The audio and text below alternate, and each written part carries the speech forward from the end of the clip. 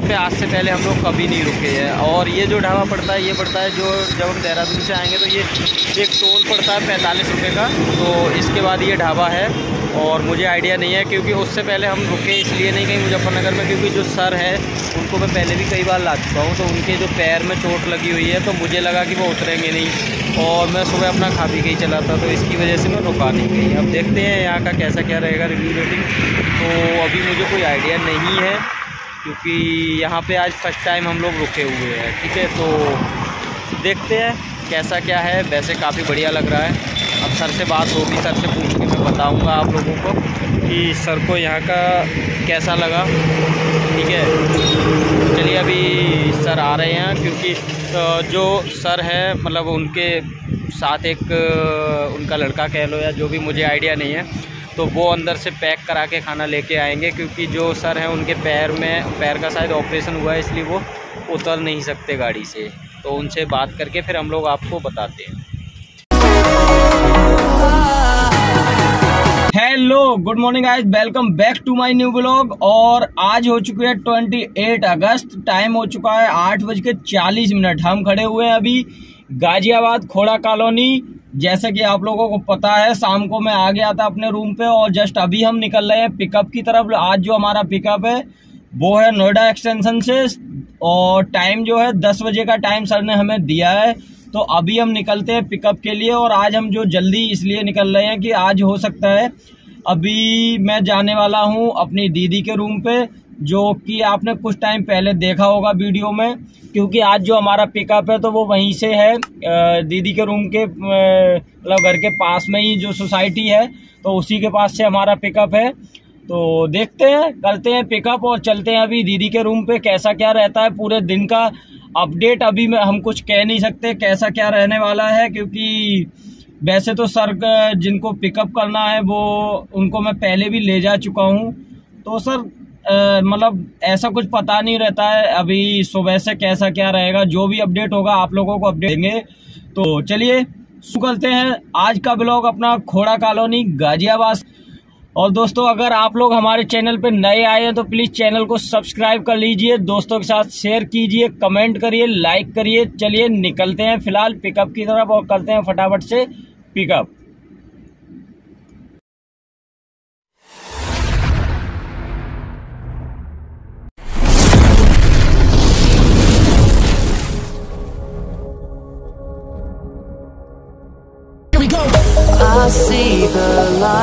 you Brighter than the skies.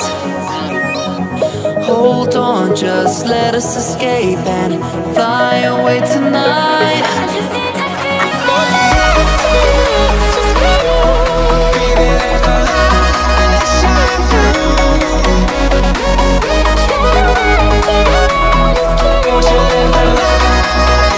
तो guys अभी हम पहुँच चुके हैं ग्रेटर नोएडा नोएडा एक्सटेंशन जहाँ से हमारा पिकअप होना है, वो लोकेशन भी बिल्कुल मेरे राइट साइड में है, और अभी हमारे पास जो टाइम है, करीब 40-45 मिनट का टाइम है। तो यहाँ 40-45 मिनट टाइम वेस्ट करने से बढ़िया है, मैं जा रहा हूँ अभी अपनी दीदी के रूम पे।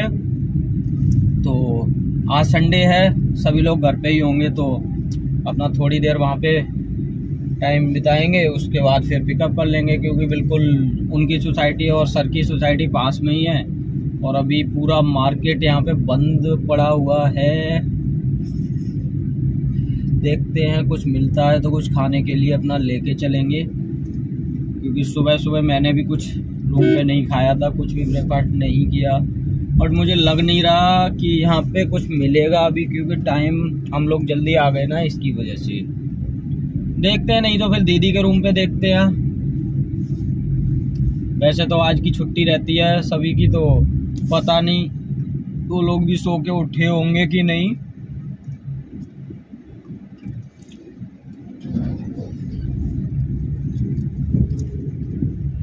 पर एक बात है दोस्तों, जैसे नोएडा में अगर रहते हैं, गाजियाबाद, नोएडा, दिल्ली, उसकी अपेक्षा ग्रेटर नोएडा जो है, थोड़ा बढ़िया लगता है, क्योंकि काफ़ी खुली खुली सी जगह रहती है।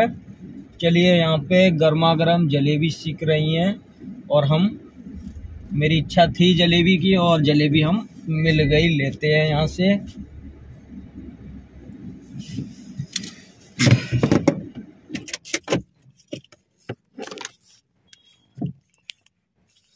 चलिए जलेबी पैक कराते हैं।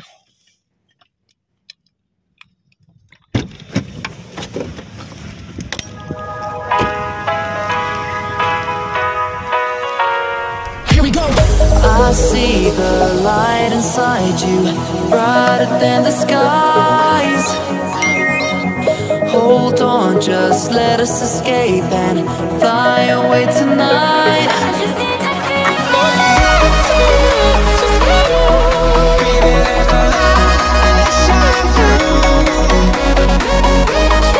Finally आधे घंटे वेट करने के बाद जलेबी हमने ले ली है और अपना वही गरीबों की रेड बुल जो रास्ते में हमारे काम आएगी, अभी जस्ट पिकअप जब करेंगे, वैसे तो ऑलमोस्ट हमारा टाइम यहीं हो गया। और दो चॉकलेट ली हैं, और बस हम निकलते हैं अब। दीदी के रूम पे, अब ज़्यादा टाइम तो नहीं रुक पाएँगे, क्योंकि टाइम इतना बचा भी नहीं है। दस बजे पिकअप था, नौ बज के पचास मिनट हमें यहीं हो गए। आधा घंटा हो गया यहीं पे खड़े खड़े तो चलिए, पहुँचते हैं अभी दीदी के रूम पे। गाइस फाइनली अभी हम पहुँच चुके हैं जीजा जी के रूम पे और ये सोसाइटी के नीचे यहाँ पे गाड़ी खड़ी करते हैं। और अभी देखते हैं, जैसे जलेबी ली है तो जलेबी का मज़ा बिना दही के तो बेकार ही है। देखते हैं दही अगर मिलता है तो नहीं तो फिर ऐसे ही करेंगे।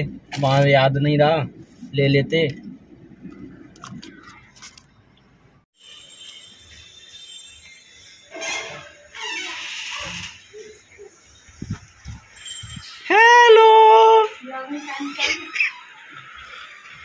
ये कहाँ टुकी रखी थी? मतलब घर में अंधेरा क्या बात है? ये देखो यहाँ पूजा पाठ हो रही है अभी। हम तो उम्मीद कर रहे थे सो के उठे भी नहीं होंगे। हाय। हाय। ये देखो संडे वाले दिन ऐसे काम भी करना पड़ता है। लाइट नहीं आ रही तुम्हारे। इसे खोलते हैं। हाँ। हाँ अरे ये सही है ना। मारी मल जी। ए दो मिनट में ना तो आप बिल बड़ो यार हो सवेरो है वो है? कैसे लग रहा हो? सवेरो है वो। ये देखो रूपा की बनियान में। देख रहे हैं?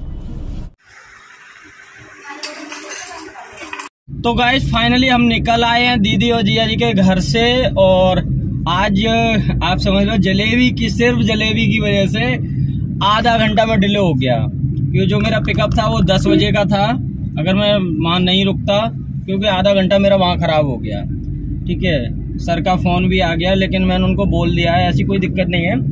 और क्योंकि वो काफ़ी पुराने क्लाइंट हैं तो ऐसी कोई दिक्कत नहीं होती।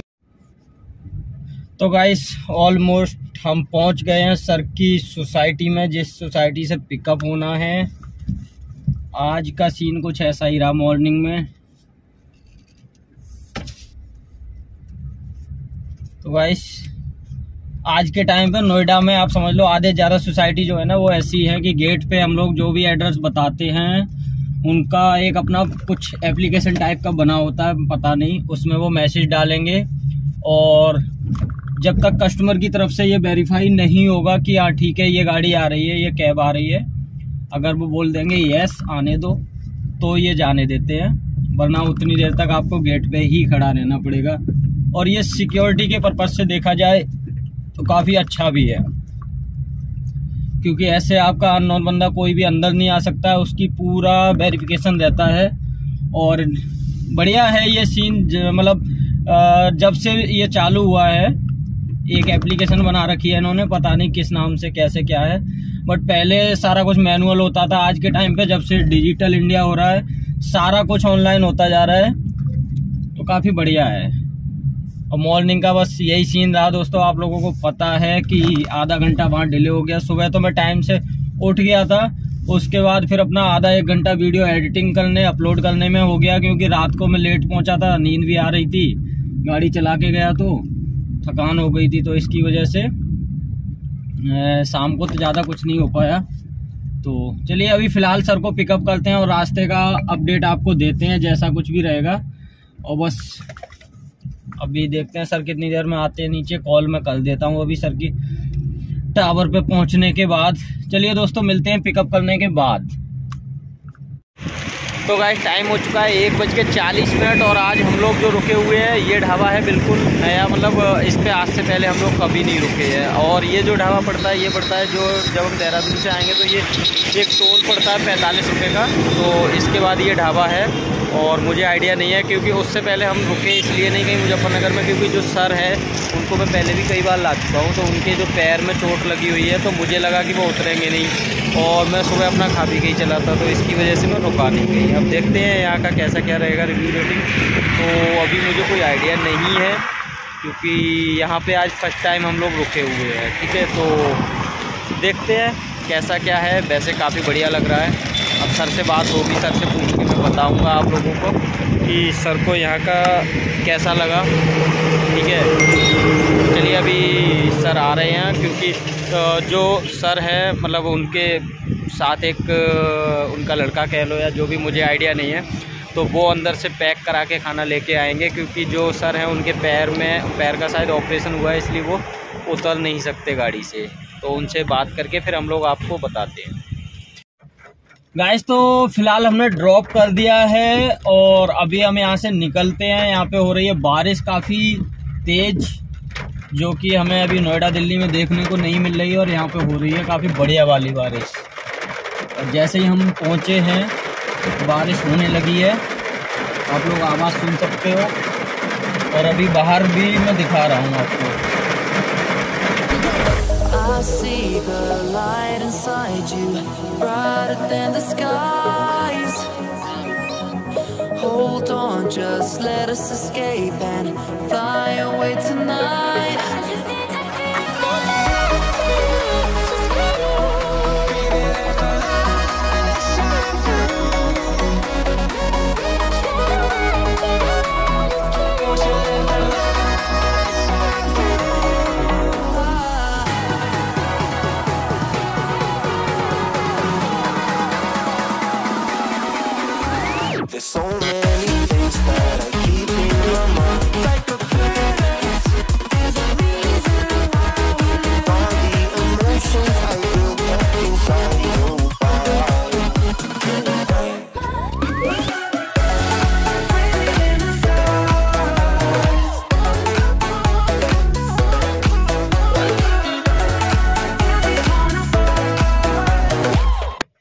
So guys time हो चुका है चार बज के पंद्रह मिनट और हम पहुँच चुके हैं अपना सस्तधारा रोड। सीएनजी मैंने भरा ली है और सर को मैंने ड्रॉप कर दिया था करीब आधे घंटे पहले मतलब ऑलमोस्ट आप समझ लो, करीब साढ़े तीन बजे के आसपास मैंने सर को ड्रॉप कर दिया।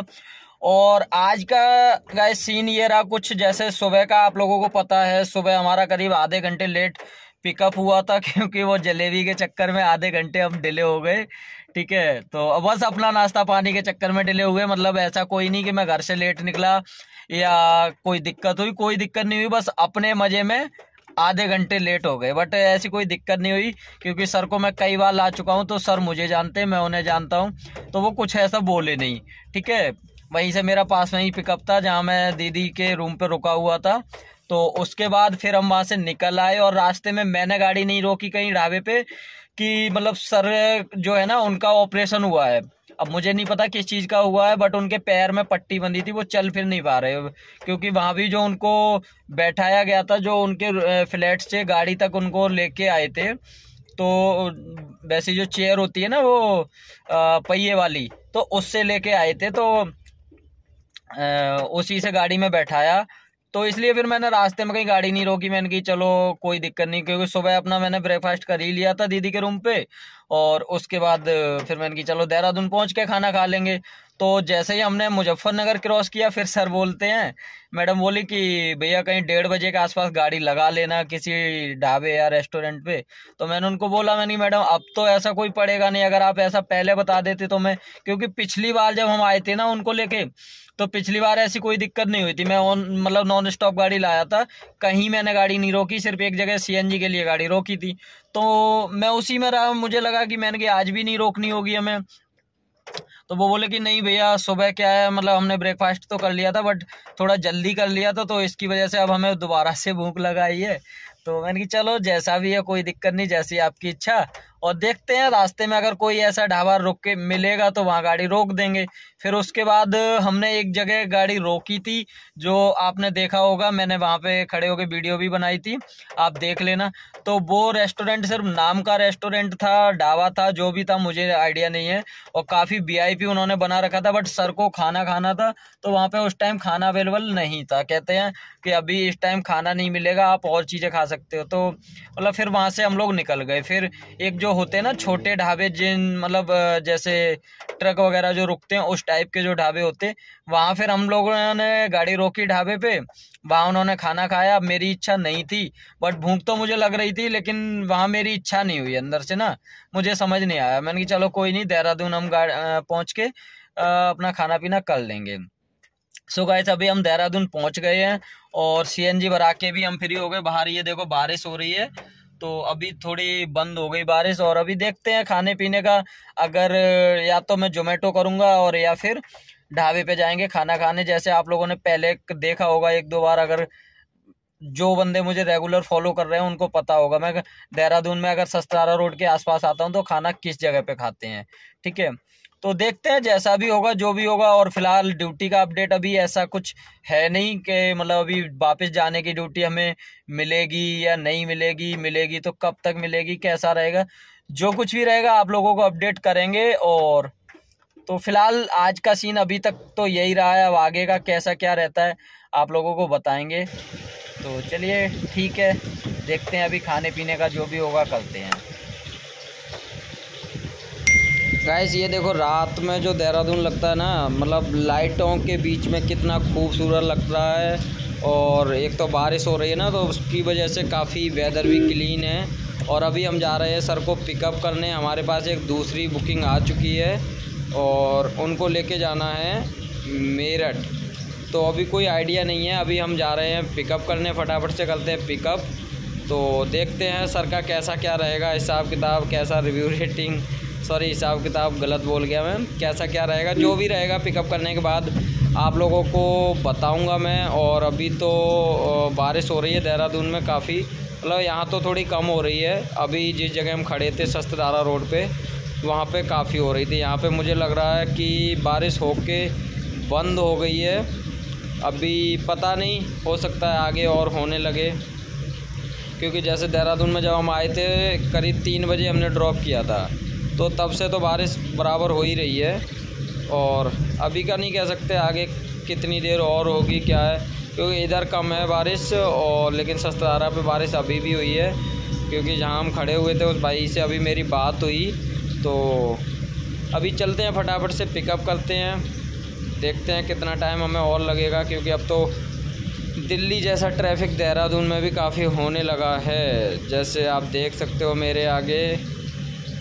अभी तो खैर ग्रीन लाइट हो गई और मेरे ख्याल से दो चार मिनट और लगने चाहिए क्योंकि जो हमारा पिकअप है तो ऊपर से भाई आ रहे हैं। उन्होंने मुझे बोल दिया कि आपको घंटाघर चौराहे पे मतलब घंटाघर चौक से सहारनपुर वाले रोड पे मुझे मिल जाओ। तो करते हैं पिकअप और ये देखो, अभी मैं आपको दिखाता हूँ। घंटाघर तो हम पहुँच चुके हैं ऑलमोस्ट और ये देखो क्लॉक टावर जो है, कितना मतलब तिरंगे के कलर में कितना सुंदर लग रहा है। काफ़ी मज़ा आ रहा है। सो गाइस टाइम हो चुका है बारह बज के पैंतीस मिनट रात के और हम पहुँच चुके हैं मेरठ। अब आप लोग पूछेंगे कि मैं मेरठ कैसे पहुँचा हूँ और आप देख सकते हैं इतने सुनसान रास्ते पे बिल्कुल खड़ा हूँ मैं मेरठ में, क्योंकि अभी रात का टाइम है और पूरा खाली है। ठीक है, और अभी मैं खड़ा हुआ हूँ कैंट एरिया के नियरेस्ट में। देखिए आप मेरे पीछे देख सकते हैं। ये जो है कैंट एरिया है स्टार्ट और बस यहाँ से अभी हम जस्ट निकल रहे हैं। और सीन कुछ ऐसा रहा कि मैं खड़ा हुआ था देहरादून, जैसा कि आप लोगों को पता है, और अचानक मेरे पास एक ड्यूटी आ गई और जो सर थे, वो गए हुए थे मसूरी घूमने। तो उनका कुछ सीन ऐसा हुआ कि उनकी थी रेंज रोवर गाड़ी, उनके ऊपर हो गई गाड़ी ख़राब। तो वहाँ से मुझे बुकिंग मिल गई, मेरे पास कॉल आ गया था एक, अचानक से तो फिर उनको मैं लेके निकल आया मेरठ। तो अभी मैंने सर को ड्रॉप कर दिया है, मेरठ में खड़ा हूँ। तो बस आज का फ़िलहाल का यही सीन रहा तो ऐसा ही सब कुछ है और कुछ नहीं। मतलब वहाँ पे मैंने ऐसा कुछ खास अपडेट नहीं दे पाया क्योंकि कंडीशन कुछ ऐसी हो गई थी कि आप समझ लो, एक तो थोड़ा वीआईपी टाइप के कस्टमर थे क्योंकि समझ सकते हो आप जब जो बंदा रेंज रोवर से आ रहा है, ठीक है? तो वो माहौल नहीं था और बच्चे थे लेडीज़ थी तो इसकी वजह से वहाँ ऐसा कुछ अपडेट मैंने नहीं दे पाया। तो अभी हम पहुँच चुके हैं, मेरठ ड्रॉप मैंने कर दिया है और अभी हम निकलते हैं क्योंकि हमने सीएनजी भराई नहीं थी। सीएनजी भराने के बाद जैसा जो कुछ भी है, फ़िलहाल आज का अभी तो हम यहीं मेरठ हैं। अब देखते हैं आगे का कुछ क्या अपडेट रहेगा। अगर कोई ड्यूटी आती है तो नहीं आती है तो और नहीं तो यहाँ से हम निकलते हैं खाली। तो गाइस आज का सीन यही इतना ही रहा बट आज का अगर देखा जाए तो हमारा दिन काफ़ी बढ़िया गया और आज का ब्लॉग जो हमारा एंड होता है, वो यहीं पे एंड होता है।